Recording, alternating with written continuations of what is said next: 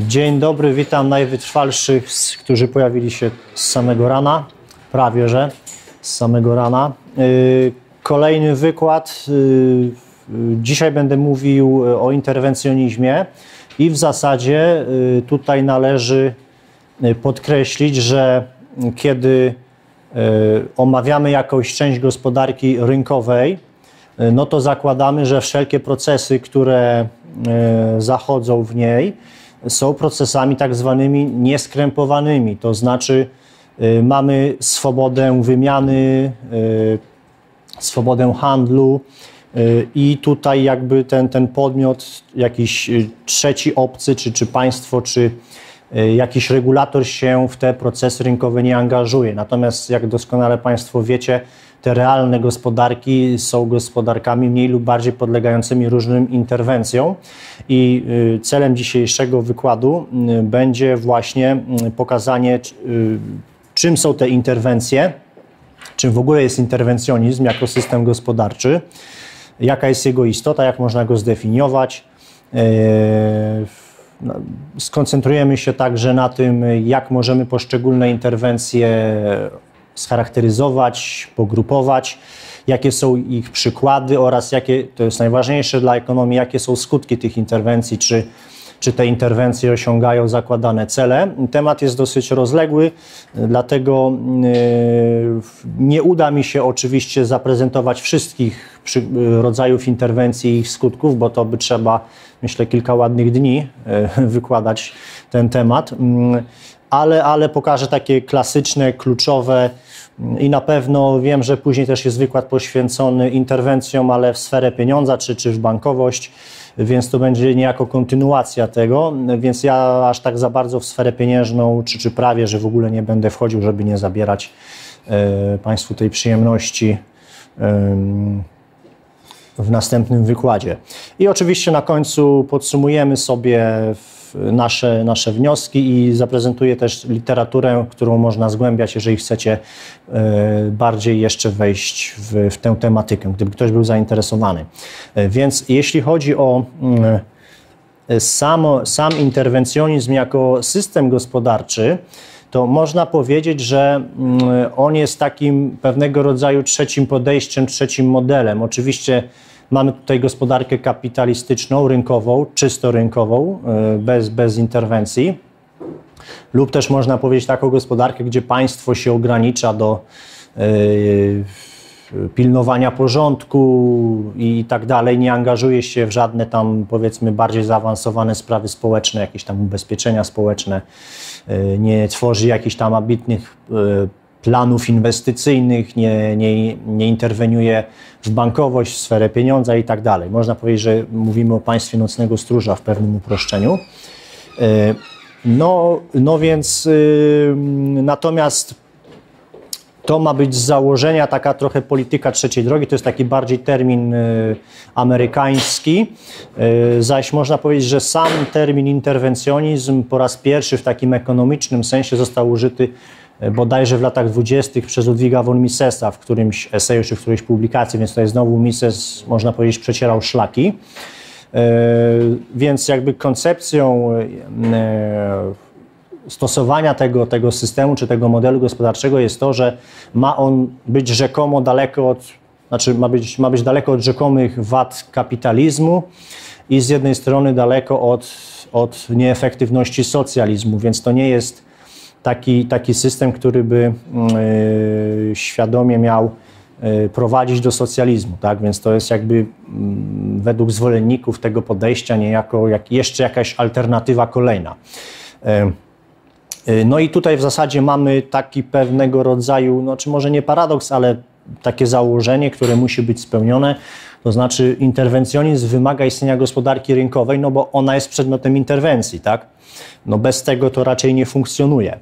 E, I to, co tutaj e, warto jeszcze, e, na, na co uwagę warto wskazać, jeżeli chcemy to scharakteryzować, a to też jakby Mises na to wskazywał uwagę, że z punktu widzenia ekonomii to nie chodzi o to, że my próbujemy określić jakieś naturalne, właściwe, sprawiedliwe granice wpływu państwa na gospodarkę, bo to jest bardzo abstrakcyjne i mało ekonomiczne, tylko z punktu widzenia ekonomii w zagadnieniach interwencjonizmu, e, w badaniu tych zagadnień, w badaniu skutków wpływu interwencjonizmu na gospodarkę rynkową, chodzi o to, czy E, te cele, które sobie wyznacza e, jakiś tam podmiot, e, powiedzmy, który te interwencje wprowadza, zostają osiągnięte i jak je porównać do stanu sprzed interwencji, tak? Czyli porównujemy, jak funkcjonuje nieskrępowana gospodarka rynkowa. Oczywiście rozumiemy, że ona nie jest doskonała, tak? I ma tam różne, ludzie popełniają błędy,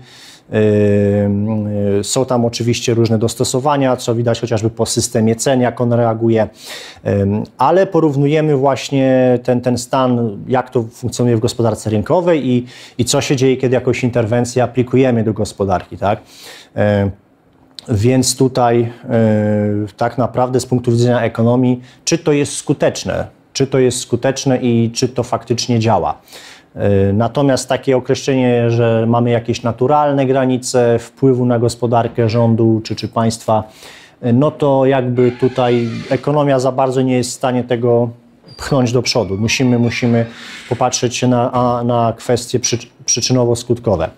I jeśli chodzi o mm, samą definicję interwencjonizmu, e, to Tutaj warto, warto przytoczyć yy, Misesa, gdyż on jako pierwszy się tym zaczął zajmować i spróbujmy sobie to yy, niejako rozłożyć na czynniki pierwsze, tę, tę złożoną definicję. Yy, więc pierwszy etap to mamy, brzmi tak, że władza ingeruje w działanie gospodarki rynkowej, ale nie chce całkowicie wyeliminować rynku, więc zakłada, że gdzieś rynek pewnie ma jakieś defekty, można tutaj mówić, że jakieś monopole, asymetria informacji, tak, dobra publiczne, albo coś nie jest produkowane, a według władzy powinno być produkowane, więc tylko chce coś tam poprawić. Takie jest założenie, natomiast to nie ma na celu wyeliminowania czy zniesienia całego systemu. To jest bardzo ważne.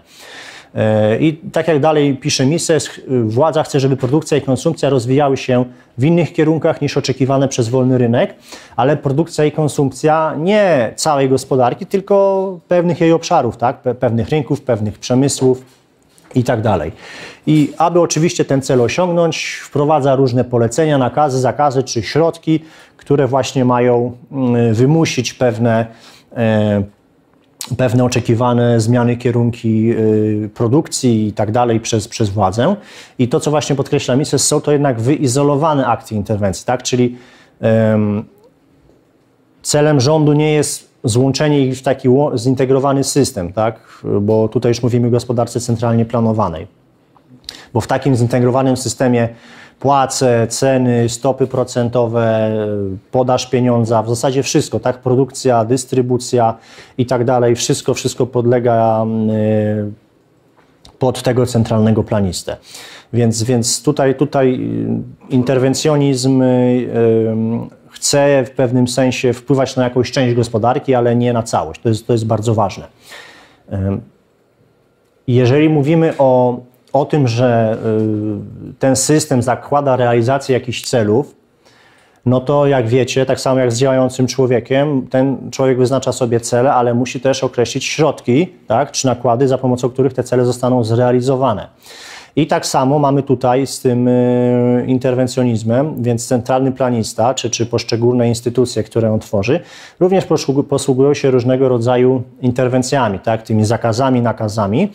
I tutaj jakby kolejny wkład austriacki w rozwój teorii interwencjonizmu, a konkretnie Mareja Rothbarda, który stworzył taką typologię interwencji. E, podzielił to na takie trzy główne, znaczy najpierw definicja może, zanim przejdę do typologii.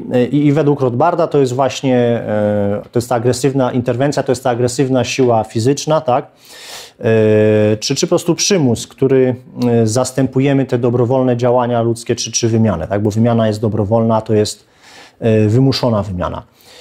I na co wskazuje również Rothbard uwagę, że z punktu widzenia prakseologii czy ekonomii, dla nas to nie ma znaczenia, kto ten przymus wprowadza, czy to jest jakaś banda opryszków, czy to jest państwo, czy to jest jakiś tam pojedynczy podmiot Zazwyczaj mówimy o państwie, no bo on ma, bo ta instytucja, tak, czy ten twór ma największy wpływ na gospodarkę.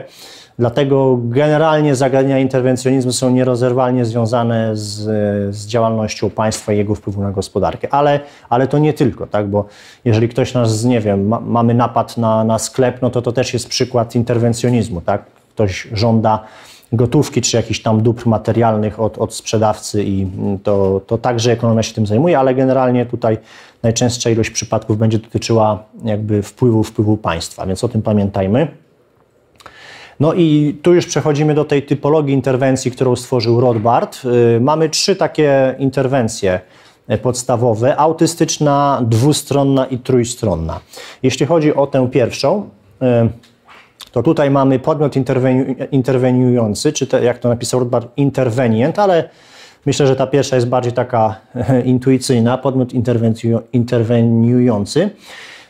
I oczywiście on zmusza tutaj daną osobę czy daną jednostkę do mm, wykonania bądź zaniechania wykonania jakiejś czynności, ale e, co jest istotne dla tej interwencji, ten, ten, ten agresor, jeżeli tak można powiedzieć, nie otrzymuje w zamian żadnych dóbr materialnych. On oczekuje tylko na przykład określonego zachowania, na przykład e, zakaz wypowiedzi, może to być wymuszenie albo zakazanie hołdu, zakaz określonych praktyk religijnych czy E, czy zabójstwo, tak? ale jakby to żaden transfer dóbr materialnych nie idzie tutaj e, do, do tego podmiotu interweniującego.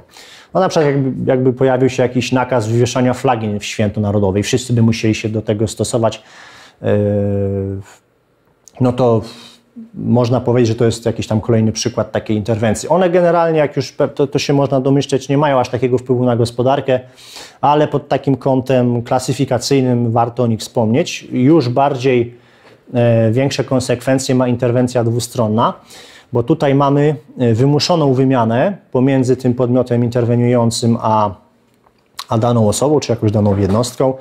I tutaj już ten agresor żąda, żeby przekazać mu określony jakiś dar, tak, czy jakiś podarunek.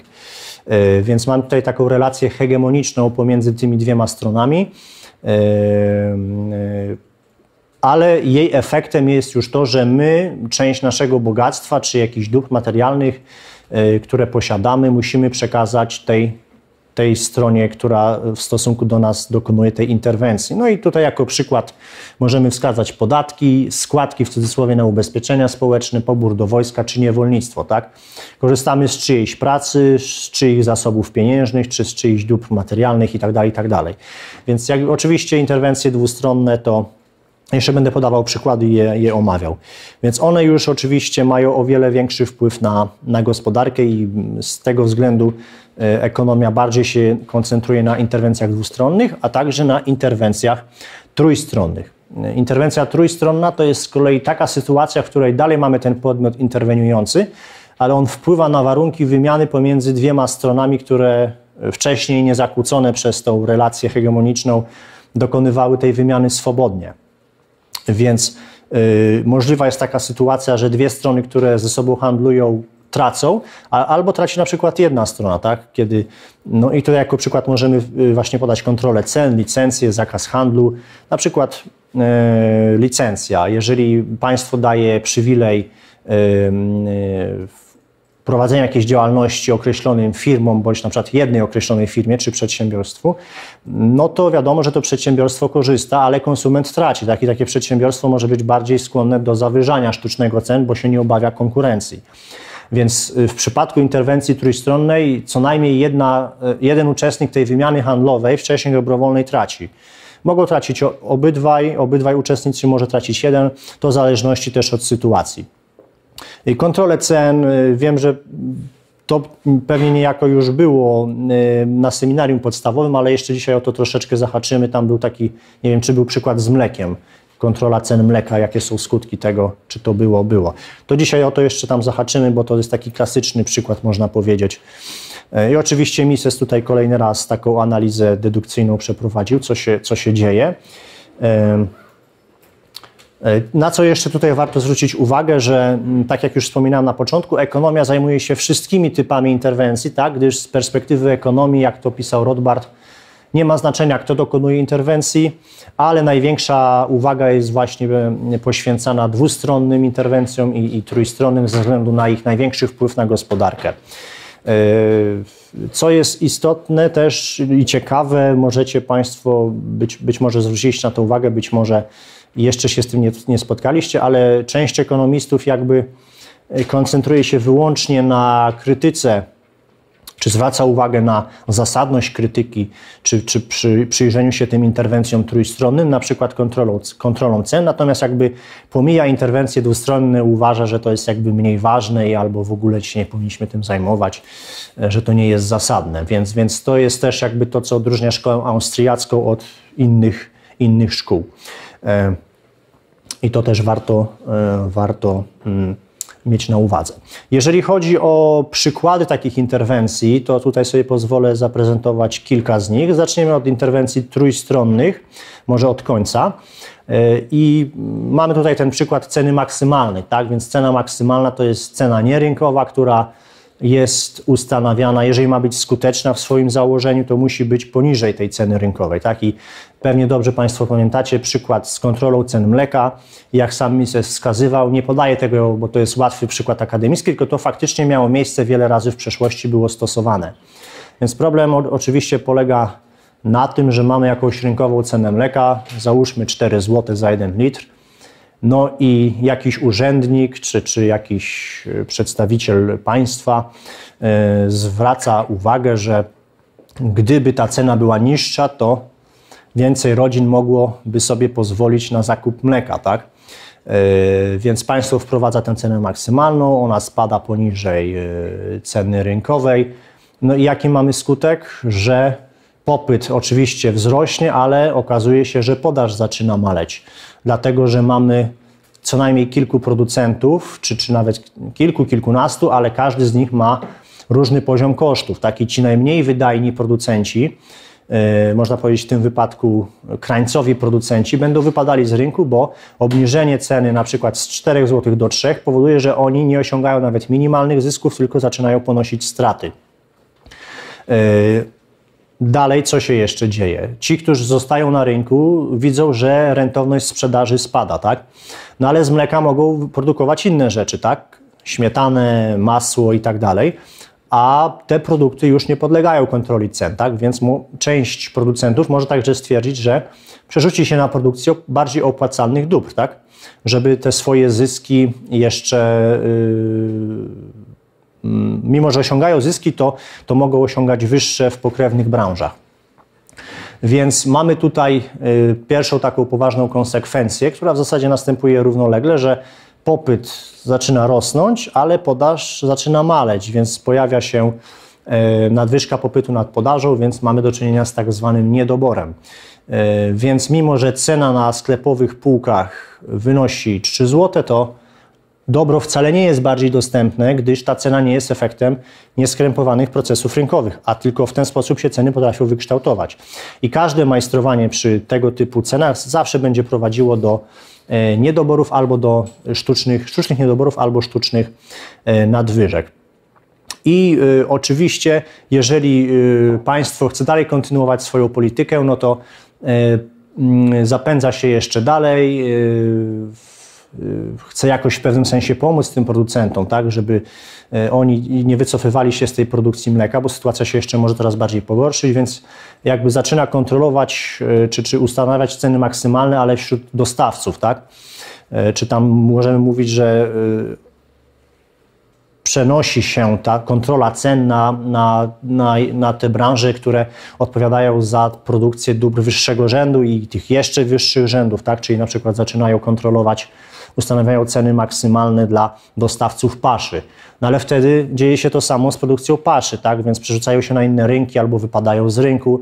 No to oni zaczynają, rząd zaczyna kontrolować jeszcze tam kolejnych producentów, tak? Którzy tam mogą na przykład dostarczać jakieś tam maszyny do uprawy zbóż i dzieje się to samo i tak dalej, i tak dalej. Więc Misesowi w tym, w tym wywodzie można powiedzieć, że następuje w pewnym sensie taka dyfuzja tych interwencji, rozprzestrzenianie się tej interwencji.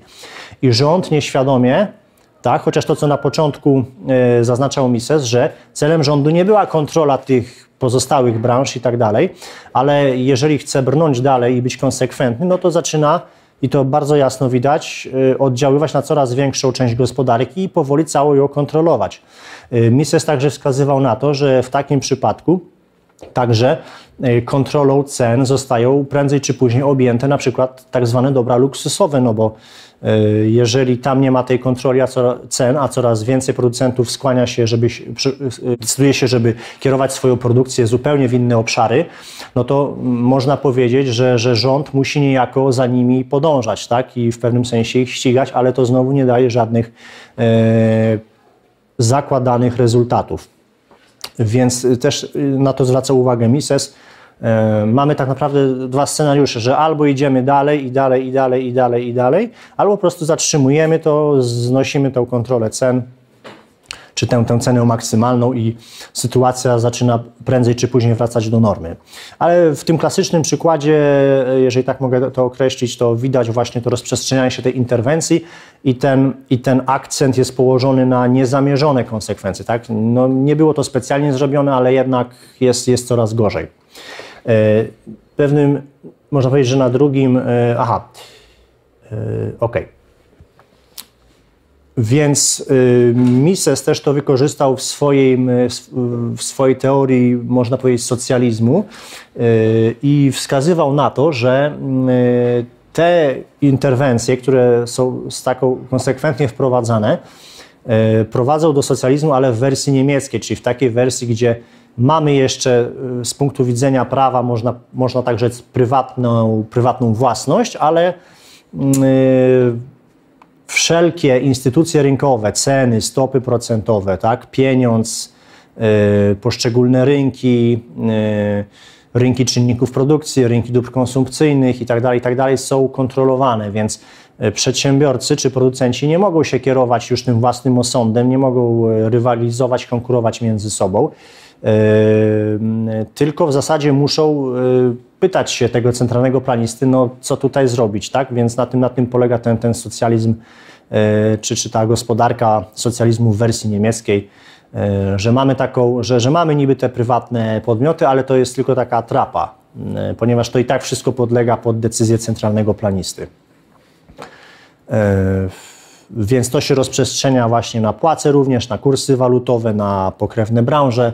I to właśnie na tym przykładzie mm, klasycznym z, z, się powiedzieć, y, nie chciałbym może tutaj tak jakoś się zapędzać, żeby Państwo tego nie zrozumieli, że kontrola rynku mleka prowadzi do socjalizmu, ale kontrola, y, jakiego, kontrola cen jakiegokolwiek produktu y, ma bardzo, że tak powiem, y, poważne konsekwencje, no bo system cen jest systemem wrażliwym, w tym sensie, że jeżeli jakaś cena zostaje sztucznie zaburzona, no to to od razu ma przełożenie na relacje rynkowe. Tak? To nie jest słabość rynku, tylko to jest powiedzmy wrażliwość rynku, jeżeli tak to można określić.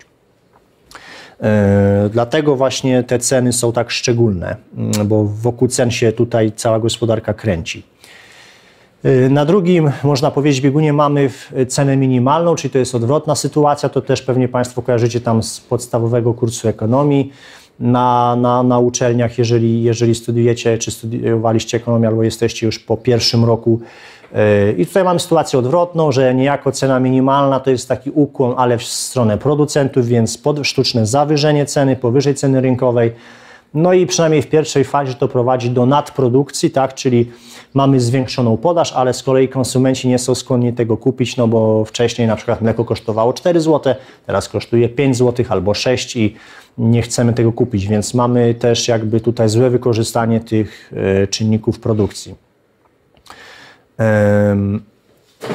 Więc y, Także, także tutaj e, kolejnym przykładem tej interwencji trójstronnej, tu jeszcze można o tym wspomnieć, są licencje. E, troszkę to, może, może to nie ma e, takiego związku z ceną minimalną bezpośredniego, ale zwróćmy uwagę, że jeżeli jest licencja, no to jest jakby sztuczne ograniczanie konkurencji, tak? Więc to może również prowadzić do tego sztucznego, pośredniego zawyżania cen, no bo jeżeli dany producent, znaczy producent, który konkuruje właśnie na tym rynku nieregulowanym, zawsze się tam zastanowi 10 razy, czy dokładnie sprawdzić, czy jakąś cenę podwyższyć, bo może klient uciec do konkurencji albo y, w ogóle zrezygnować z zakupu danego produktu. Natomiast jeżeli dany producent otrzymuje taki przywilej, licencję, no to w pewnym sensie ma gwarancję, że konkurencja aż tak szybko tutaj nie wejdzie, bo jest ograniczona. I, może, i zwróćcie uwagę, że branże, które y, podlegają takim jakimś licencjom, tak, czy gdzie są te, można powiedzieć, bariery wejścia, tak, sztuczne, instytucjonalne bariery wejścia na dany rynek, no to tam mamy taką sytuację, gdzie te ceny raczej idą w górę, tak? bo ta konkurencja nie jest w stanie tego odpowiednio e, sprowadzić na, na niższy poziom. Więc to również jest ciekawy. E, wiecie, jaki to jest film? Jak ktoś był rok temu, to może. Proszę? Dawno temu w Ameryce, blisko, ale podobny okres. W zasadzie ten sam okres, ale nie to. Nietykalni e, Briana De Palmy. E, I to jest film, w którym tutaj Kevin Costner jest po prawej stronie, e, drugi od prawej. Gra tam bodajże agenta federalnego, który ściga, to jest w okresie prohibicji, w latach tam 30. bodajże, czy w 20., jeżeli tutaj mnie pamięć nie myli. No i Generalnie narracja filmu jest taka, że tam dzielni federalni tam ścigają tych, wiecie, te mafie, tak, a la Capone, tam Robert De Niro też go gra yy, i zaprowadzają porządek w mieście, nie? W końcu tam Al Capone idzie siedzieć, ale nie za tam zbrodnie, tylko za co? Za, za niepłacenie podatków, prawda? I yy, jest to, znaczy tak, myślę film jest ciekawy i aktorska gra jest dobra, muzyka jest bardzo dobra i tak dalej, ale jakbyśmy się tak zastanowili nad jego przekazem, to czy to nie jest bez sensu wszystko, tak? To znaczy może nie chodzi o film, tylko o ten okres, tak, który on oddaje. No bo dlaczego, dlaczego w ogóle oni musieli ścigać, prawda, ten... Skąd się wzięli ci, ci, ci przestępcy? Wzię, wzięło się to wszystko z kolejnej interwencji, czyli z kontroli produktu, tak, trójstronnej. I w przypadku USA tego okresu to był częściowy, czy w zasadzie całkowity zakaz sprzedaży określonych dóbr. No i w przypadku USA to mieliśmy prohibicję na produkcję i dystrybucję e, napojów alkoholowych, a przepraszam, to w latach 20. było, e, ale uwaga, już nie na konsumpcję alkoholu, tak? E, no, gdyby oni powiedzieli, że nie wolno konsumować, to tak naprawdę powiedzieliby konsumentom, obywatelom, nie wolno wam pić alkoholu, a jeżeli rząd powie, że nie wolno produkować, tak, ale jakby dalej wolno konsumować, no to wiadomo, że rynek czy, czy ludzie będą szukali sposobów, żeby to wszystko ominąć, tak? Więc y, ta, ta, ta, cała, można powiedzieć, nagromadzenie się tej przestępczości w Stanach Zjednoczonych w tamtym okresie, co było związane z tą nielegalną produkcją i dystrybucją alkoholu, nie jest związane z jakąś tam, y, y, powiedzmy, taką złą naturą ludzką, czyli tylko jest pochodną tej, tego zakazu wprowadzonego przez rząd, tak? E, uznano wówczas wtedy jakiś ten był też nacisk różnych grup społecznych, że, że alkohol to jest zło i tak dalej. No i zobaczcie, że to doprowadziło do jeszcze większej eskalacji przemocy i problemów społecznych. Tak? Więc y, i, i, kolejny, dlaczego jeszcze o tym wspominam i tak jak tutaj właśnie też na to wskazuję, że zwróćcie uwagę, że interwencje bardzo często tak naprawdę są skierowane do konsumentów, ale jakby tak od strony technicznej one obejmują producentów czy sprzedawców. Między innymi mm, często jest tak, że rząd się obawia, że po prostu straci poparcie społeczne, tak? Ale jeżeli on powie, czy przekaz będzie taki, że to dotyczy rynku czy producentów, no to jakby nie dotyczy to bezpośrednio konsumentów, tak? Chociaż prędzej czy później te konsekwencje i tak do nich docierają. No i to jest właśnie ten, ten przykład Stanów Zjednoczonych, jak się pozbyć, jak się pozbyć przestępczości, jak się pozbyć Ala Capone. No, no można wysłać agenta federalnego i stworzyć tam drużynę, nie? Chicago Boys, bo to w Chicago chyba się akcja działa, można powiedzieć, że to są trochę tacy Chicago Boys. E, I, i próbować rozwiązać ten problem poprzez agresję, tak? Zakaz, nakaz, ściganie przestępczości. No ale co może powiedzieć ekonomista, że jaki byłby drugi sposób? Po prostu proszę znieść tą kontrolę produktu, tak, że wolno produkować to i tak dalej. I jakieś tam być może drobniejsze sugestie, nie wiem, w, byłyby bardziej łagodne, tak? Natomiast to było bardzo radykalne. No i zwróćcie uwagę, że ludzkie potrzeby przecież nie znikają, no bo ludzie chcieli konsumować dalej te dobra, tak? I oczywiście tam też był jednym z efektów tam nielegalny handel, przerzucanie tego przez granice i tak dalej, i tak dalej. Więc to jest bardzo takie sugestywne. Więc duże tam nakłady poszły na to, żeby to jakby zlikwidować, tak? Trzeba tam aparat jakichś tam agentów federalnych utrzymywać, więcej policjantów i tak dalej, i tak dalej, a wystarczy po prostu znieść, znieść kontrolę tego produktu, czyli wycofać interwencję i sytuacja w miarę szybko wróci do normy. E, jeżeli chodzi o interwencje dwustronne, to tak jak mówiliśmy, one są związane z z tym, że do podmiotu interweniującego wędruje jakaś część jakiegoś ekwiwalentu pieniężnego, zazwyczaj w postaci podatków, to jest najczęstsze. I oczywiście jakby na podatkach się nie kończy, no bo mamy, podatki tworzą źródła przychodów, to tworzy budżet, tak? A wiadomo, że budżet polega na tym, żeby te pieniądze wydawać, więc to jest wszystko ze sobą związane i zarówno podatki, budżet, jak i wydatki są tak naprawdę ograniczeniem prywatnej własności, czyli przejęciem części tej prywatnej własności. W tym wypadku w postaci państwa uzyskiwany dochód oczywiście nie pochodzi już z wymiany rynkowej, to znaczy nie jest efektem tych, tych dobrowolnych relacji.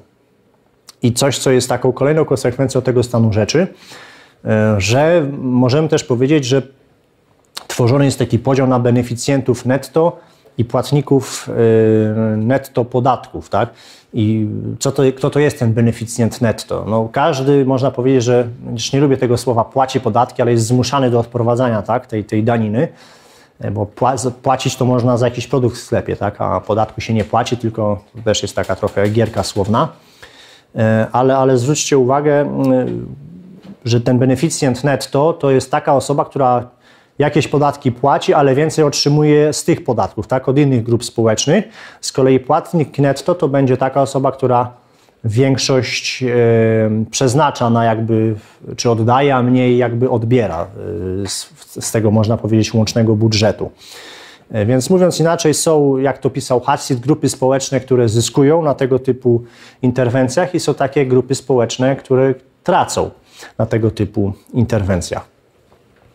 W przypadku interwencji dwustronnych też się pojawia taki problem z określeniem tak zwanego neutralnego opodatkowania, bo generalnie koncepcja tego e, jest taka, że żeby stworzyć taki system podatkowy, który jak najmniej albo w ogóle nie będzie ingerował jakby w gospodarkę, tak? czyli że gospodarka tego nie odczuje, ale to jest e, jak to napisał Rothbard, w zasadzie podatek musiałby być ceną, tak? No bo ceny oczywiście wpływają na gospodarkę, ale to jest efekt tych dobrowolnych wymian dalej, więc tutaj się dostosowujemy do tego.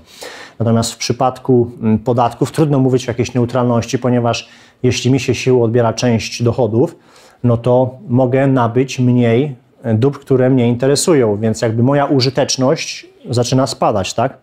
A jak wiadomo, użyteczność jest subiektywna i nie można tej użyteczności porównać z użytecznością tego beneficjenta netto, prawda? Więc nie można tak naprawdę wykazać, czy interwencja przy jest korzystna, czy jest niekorzystna. Natomiast y, można wykazać, że osobie, osobie, które są odbierane dane środki, czy która jest podmiotem interwencji, w jakimś większym lub mniejszym stopniu y, jej satysfakcja i tak dalej spada. Y, szczególnie tutaj odczuwalne, czy, czy to nie powinno dziwić, są podatki dochodowe, im wyższe podatki dochodowe, y, to my dysponujemy mniejszą ilością środków, więc wpływa to oczywiście nie tylko na konsumpcję, ale na relacje między konsumpcją i jakby oszczędnościami. A jak wiecie, z oszczędności też pochodzą inwestycje, więc y, generalnie im wyższe, im ten, ten fiskalizm jest taki bardziej natarczywy, płacimy wyższe podatki, podatki progresywne, to yy, mniej oszczędzamy, a to oznacza mniejsze inwestycje, co w dłuższym terminie wpływa na rozwój gospodarczy. Yy, lub też mówiąc inaczej, oczywiście państwo też może inwestować, ale to nie są te kierunki pożądane, na tym polega problem.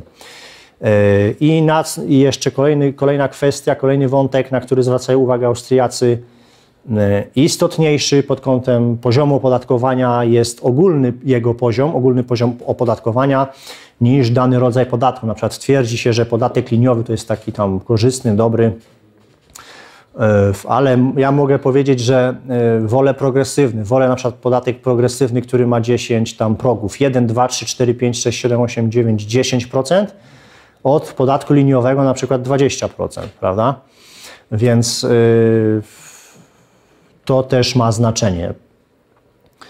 Może być też oczywiście sytuacja odwrotna, że, że podatek liniowy wynosi, nie wiem, pół procenta, no to wtedy wolę podatek liniowy zdecydowanie, on jest korzystniejszy.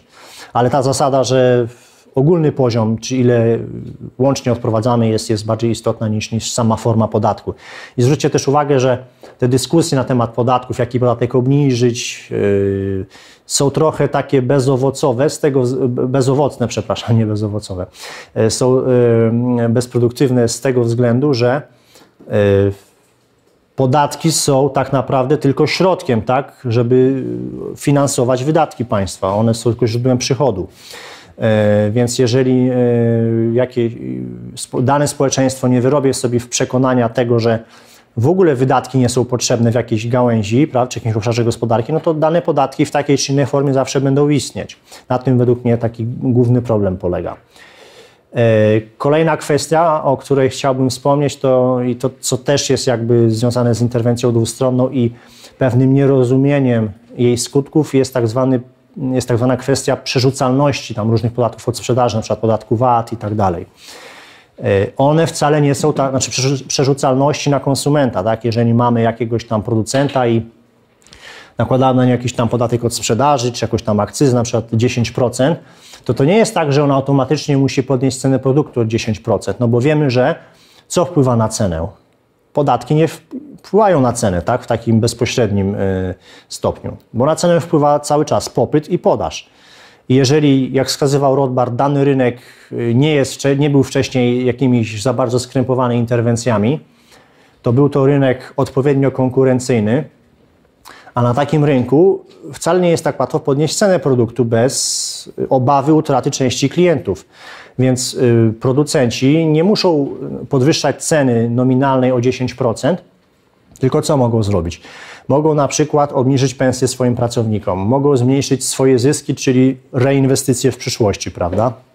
Mogą, e, mogą na przykład renegocjować umowy ze swoimi dostawcami, czyli zmniejszyć zyski swoich e, dostawców. Ci dostawcy mogą z kolei zmniejszać zyski swoich dostawców, tak? Czyli idziemy coraz wyżej w tej, e, przenosimy się do coraz wyższych czynników produkcji, e, dóbr wyższego rzędu i docieramy aż do tych czynników pierwotnych, tak? czyli do właścicieli ziemi, pracy e, i kapitału. I to w zasadzie można powiedzieć, że ten podatek od sprzedaży jest tak naprawdę przerzucalny bardziej w tył w pierwszej kolejności niż w przód, czyli na konsumenta.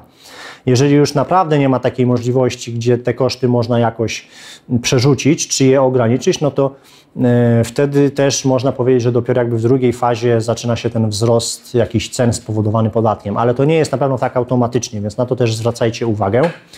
I ta sama kwestia dotyczy tak zwanych na przykład właśnie składek na ubezpieczenia społeczne, tak, czy, czy wkładzie pracodawcy. Jest taki umowny wkład, że tam część tej składki wyrażonej procentowo płaci pracodawca, czy tam 50%, tak, a drugą część płaci pracownik. Ale jak dobrze wiemy, jeżeli to nie jest wszystko poprzedzone wzrostem produktywności krańcowej pracownika, produktywności pracy, no to mm, jeżeli na przykład pracownik zarabia załóżmy 3000, tak, netto, bo nie ma żadnego podatku i pojawiają się składki na ubezpieczenia społeczne i pracodawca jest zobowiązany, że na przykład 500 zł musi mu odkładać, załóżmy, no to on nie podwyższa mu pensji do 3500 zł, tylko płaci mu na przykład netto 2,5, a z reszty mu finansuje, tak? Czyli tak naprawdę yy, w sensie takim ekonomicznym pracownik sam sobie to finansuje, tak? Bo płaci za to obniżką tej, tej pensji, yy, którą miał wcześniej, tej pensji netto.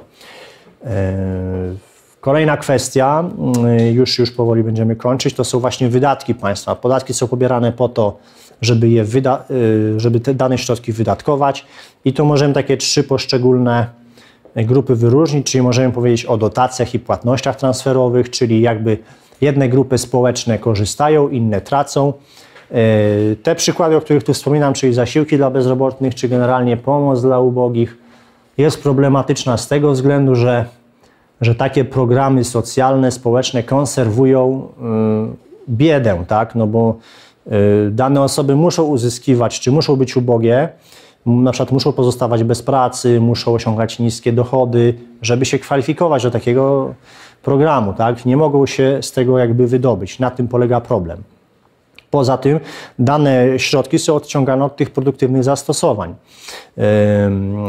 Dalej mamy wydatki realne, jak to określił Odbar, czyli płace osób zatrudnionych w administracji, czy zakupy różnych tam dóbr i usług od firm prywatnych, więc niejako konsumpcja przez państwo tych, tych pozyskanych środków, tak, no jakieś takie na utrzymanie własnej administracji.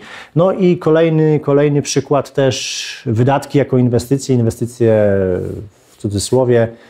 E, tutaj mamy też, wskazuje na problem preferencji czasowej, bo e, jak wiecie, e, dobrowolność obejmuje też sferę oszczędzania, to znaczy ja sobie zakładam, ile ja chcę przeznaczyć na konsumpcję, a ile na odroczoną konsumpcję, tak? Czyli to, to się wtedy pojawiają oszczędności. Im wyższe oszczędności, tym możemy liczyć na wyższe, wyższą stopę inwestycji i tak dalej.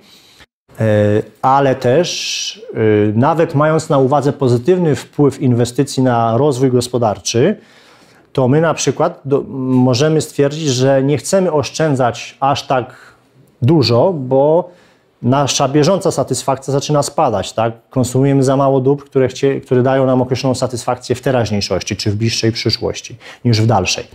I jeżeli na przykład podatki są zbyt uciążliwe, ale na przykład państwo czy ten aparat przymusu, tak, ten interwenient chwali się, że dzięki temu te inwestycje rosną i rosną i rosną, abstrahując od tego, co jest tą inwestycją, to konsument czy ekonomista może powiedzieć, nikt o to nie prosił, tak? I to też jest jakby problematyczne czy niekorzystne z tej perspektywy, że my za to płacimy e, utratą użyteczności, e, znaczy e, utraconą konsumpcją bieżącą, tak? a tego nie chcemy. Więc to też nie jest tak, że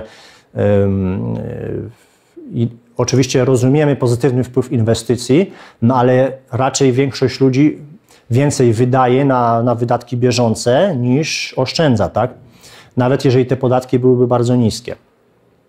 I, I, oczywiście kolejny, kolejny problem z inwestycjami jest taki, że zazwyczaj trudno, znaczy trudno, to, to, realizacja danej inwestycji nie musi oznaczać, że to będzie opłacalne. Tak? To, rynek oczywiście to weryfikuje za pomocą zysków i strata. W przypadku e, tych, tych interwencji na tym poziomie to e, okazuje się, że jakieś tam lotnisko nowo wybudowane, czy jakaś tam jakaś, jakaś, jakiś tam kolejny projekt infrastrukturalny wymaga większej ilości środków albo zostaje przełożony w czasie na jakiś tam rok, bo zabrakło środków do jego finansowania, albo jakość jeszcze jest nieadekwatna do, do oczekiwań i tak